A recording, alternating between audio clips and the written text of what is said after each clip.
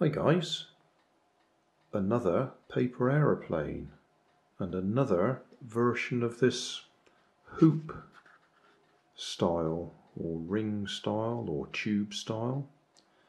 Uh, I did a couple uh, a few days back, probably a week or so back now, and then I spotted this one on one of the uh, sites. They call it a Viper ring. Uh, it's the paperhangar.com site and I've drawn it on that bit of paper there to remind me how to do it. What I found interesting, obviously I've already done one, is the previous versions seem to like to fly that way up. This one seems to want to fly the other way up. In fact, if I launch it that way up it just dives whereas that way it seems to fly. So I'll just see if I can fold it up. This is the clue. About half an inch up on that side and half an inch down on that side. And that's the fold line. If I can get it on there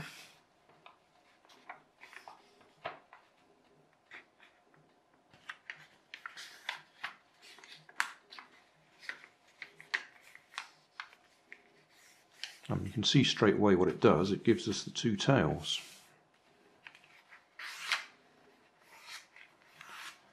And then on this one they just turn up about quarter of an inch at a time and fold it over four times I think it is. Let's try and keep that even. So that's one.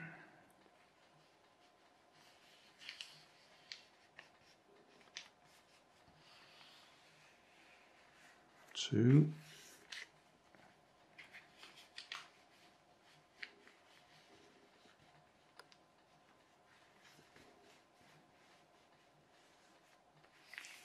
three,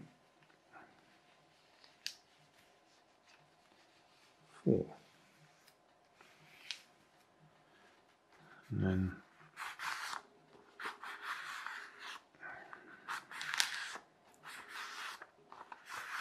Just keep doing that a few times.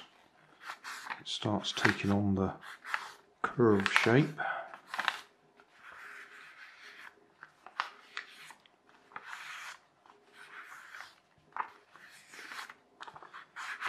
Done it a few times. And come round and fold it into itself and it will hold itself but I must admit I did cheat and put a little bit of glue on there to make sure it actually stayed in place because every time I threw it without it it just springs back open. On the previous one you had a wider fold and that seemed to grip a bit better but this one, this design it just says quarter of an inch. Quarter of an inch four times. So I'm going to stick a little bit of glue on that again. But I'll, well actually, no I won't fly it now, I'll fly it tomorrow morning. It's quarter to one, so actually it'll be this morning, won't it? Later on today, I'll give it a fly, because it's a bit late at night to be doing this. Don't want to wake my wife up. As I say, it definitely flies better that way up. And that actually made it quite handy because you can grip it quite easily there and throw it that way. Whereas that way, on the other one, I was holding it at the back and just letting it drop and it would pick up eventually. But this one seems to fly that way up. Good morning guys. So we've got two to try. I've just checked the previous videos of the other versions and I'm right, they all flew that way up with the tail at the bottom. And these definitely seem to fly better with the tail at, at the top. So we'll see if we can get anywhere near the camera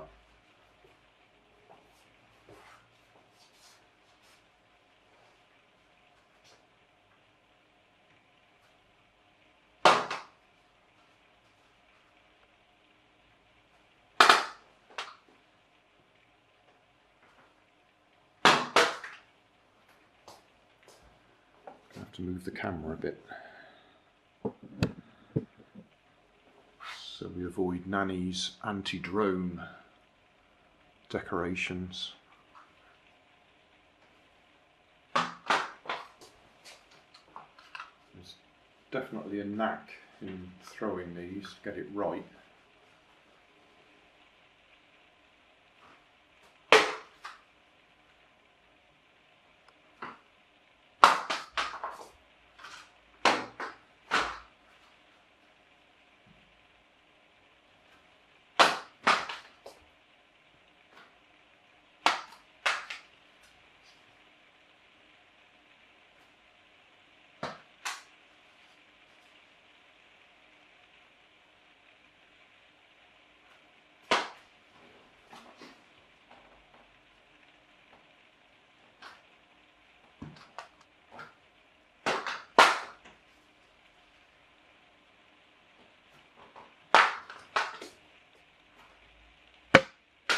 well,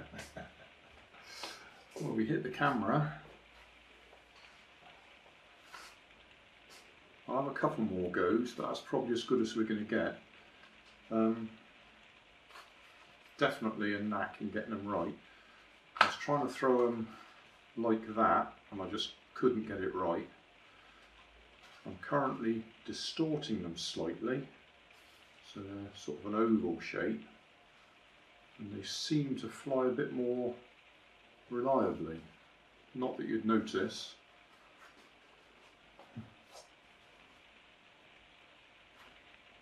Oh. That one was a lot closer.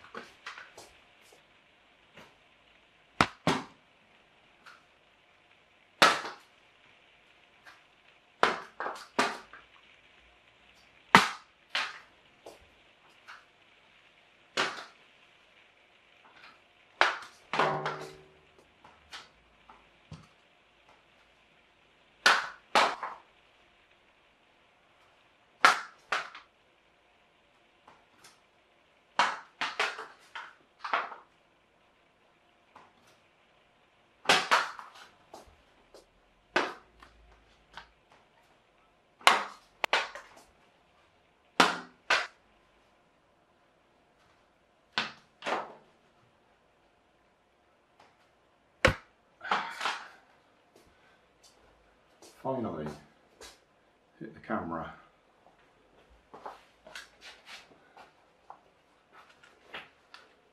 What I was really hoping for was that, but we didn't get it. And we spent 20 minutes trying to do that. So that'll do for now. It flies.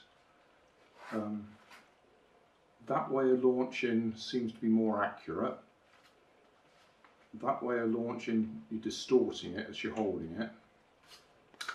And that way of launching, it just dives.